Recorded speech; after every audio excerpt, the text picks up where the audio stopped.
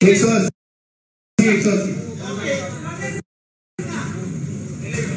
जैसे डे वाले सीन में था ना बेटा? हाँ, वैसे ही। तो थोड़ा ड्राई एरिया में रखो। हाँ,